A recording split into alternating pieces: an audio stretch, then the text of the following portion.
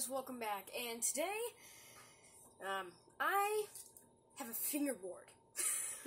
so I'm going to teach you some fingerboard tricks. I'm going to teach you three fingerboard tricks. I'm going to make a lot of, I might make a lot of fingerboard um, videos, uh, but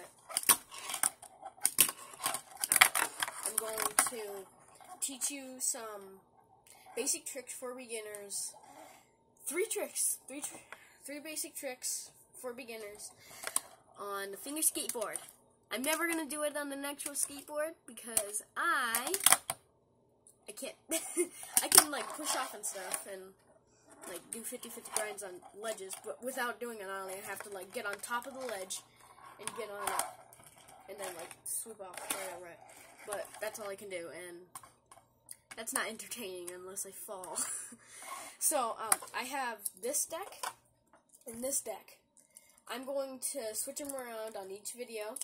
So, today I'm going to have this deck, and then tomorrow I'm going to have this deck, and then tomorrow I'm going to have this deck, and, you know, it'll switch, it'll be a cycle until I get a new deck.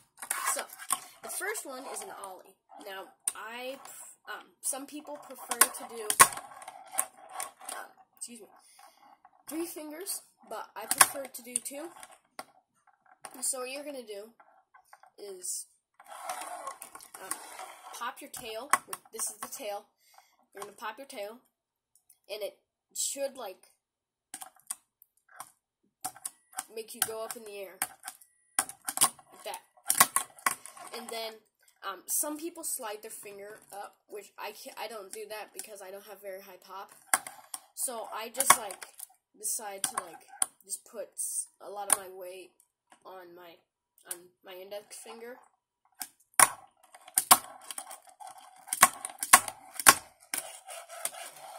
So that's what I do. But some people like to like do an ollie, slide to even it out, and it and you land when you get when you do that. You're, this when you land like this, that's the sweet spot. That's I. That's what I've heard anyway. You gotta go to this, to this, this to this, this to this, this to this. And when, once you learn an ollie, an ollie is the basic um, mover to doing tons of crazy tricks. Sorry, I dropped it. Tons of crazy tricks. And um, there's a test that you can do. So, like, I have a crack right here because it bends down. The table bends down. So, um, you can also use like a rail to jump over. This one like has little buttons because it goes to a portable skate park. But let's not show that. Um,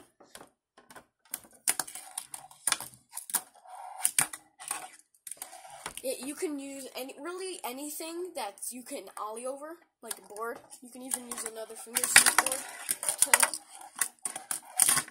ollie over it, but I can't. There you go.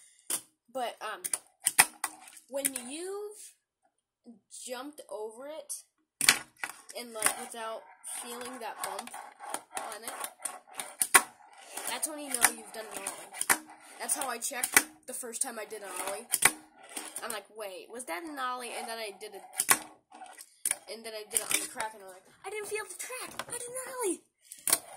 So that's how I tested it. Some people like use like super big stuff to start off, but don't do that. I used to do, I did that. No, don't do that. Just use like something that's even built into the table if you can, to just see if you can make it over. Um, the next trick I'm going to show you is called a pop shove it. Um, you don't really even need uh, your index finger for this, so don't really use three fingers. I want it anyway. Some people do. But a pop shove it is when you do an ollie, like I showed you, but then you're gonna twist with your middle finger, and I'll make your board twist 90 degrees. I just did a 360 shove it. Um, there's, uh, it's also called a shove. uh, shove it. You know, there's uh, pop shove, shove it is the original name, I think. Um, there might be something else, but that's what I know of. And it, it's it's almost the same motion of an ollie, but you just need to flick with the middle finger.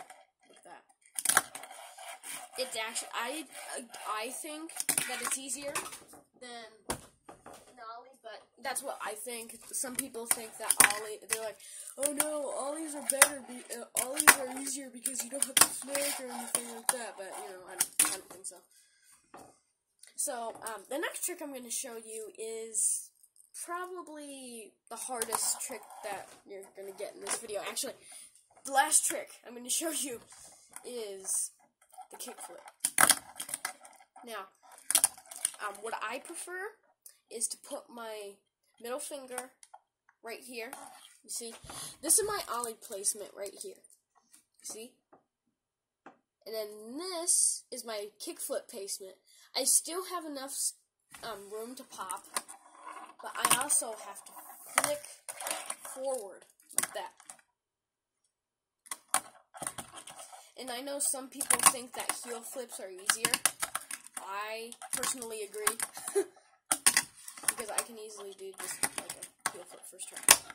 Okay, maybe not now, but I, I can do the heel flip first try. I think kick flips are a little harder because I don't do good um, with my middle finger flipping forward. I can just flip, flip backward with my middle finger. So, um, some uh, so I would try the heel flip first because it's it seems to be easier with people I know. So you know, I just like it's the same thing, but you just flip backward. See, ollie placement, kick flip placement, uh, heel flip placement, same thing. So uh, that's gonna be the end of this video. I might make another one. So. Uh, um, I'll see you guys and see you with this deck in the next episode. Bye.